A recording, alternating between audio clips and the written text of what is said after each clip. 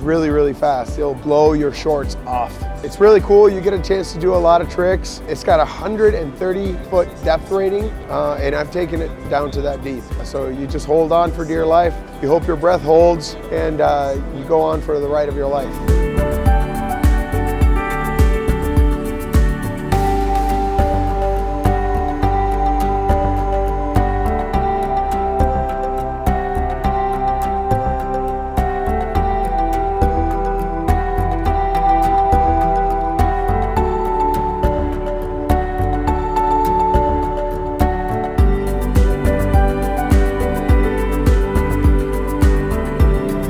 I've actually unboxed and reviewed several other products and several different brands.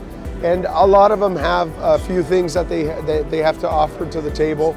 But as far as the, the most power and the longest battery, the one that I like the most right now is, is happens to be uh, Seabow.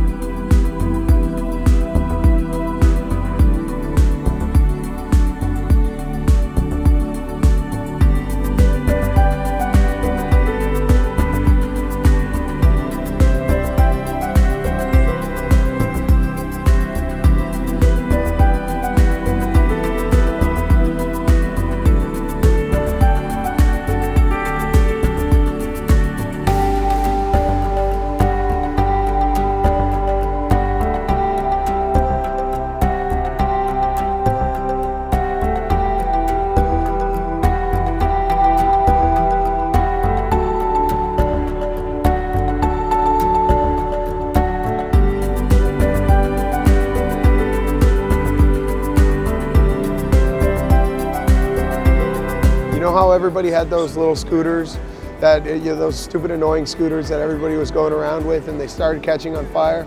That's the future of the water. I mean uh, people are going to start getting in the water a lot more.